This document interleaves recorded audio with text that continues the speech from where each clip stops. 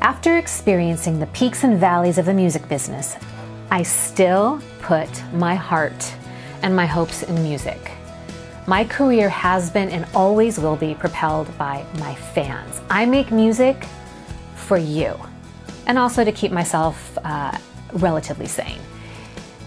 When I get on stage, that connection between me and you, the magic between the music maker and the listener, that is why I do what I do. That's why I get on stage. Patreon is going to allow me to keep touring and sing for you in person. Perfection. So, why Patreon? Well, let me tell you. In the ever changing world of the music business, where our art is devalued at every turn, I really admire this platform's commitment to recognizing all of the hard work and effort it takes on so many levels to create music.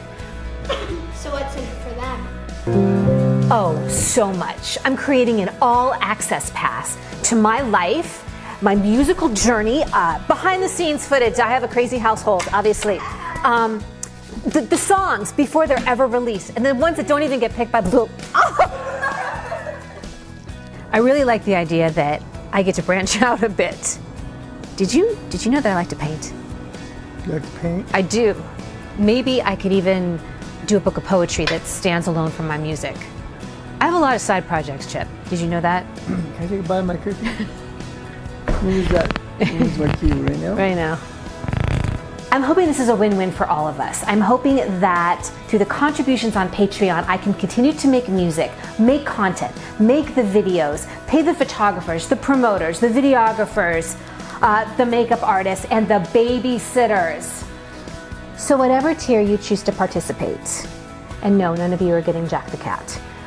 I just want you to know how incredibly grateful I am. I know there are so many platforms out there and artists that are vying for your attention, but I really hope to create something unique for you. I want to give you an all access pass into not only my music journey, but my personal one as well. Apparently, he doesn't want to go along on the journey with me at the moment. Thank you so much from the bottom of my heart for all of your support.